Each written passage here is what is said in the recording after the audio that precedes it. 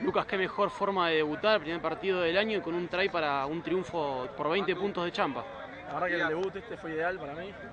Estaba muy nervioso, era mi debut, en primera tanto esperado.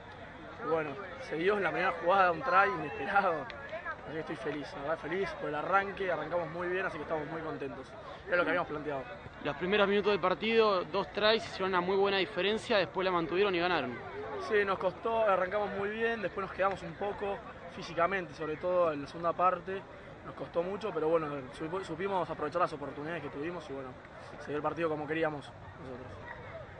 ¿Cuál pensás que es la clave para mantener este, el nivel de hoy y así poder entrar de vuelta en el top 14 como el año pasado? Seguir como estábamos, por este camino, lo, lo planteado a principio de año y bueno, queremos ir así. Estamos muy bien, venimos muy bien y estamos muy confiados que vamos a hacer un buen año.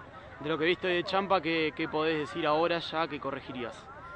No, la verdad que, bueno, sí, lo, que te dije antes, nos quedamos un poquito, sobre todo el segundo tiempo físicamente, pero bueno, estamos felices, yo estoy personalmente y sé que el equipo estamos muy contentos por este arranque.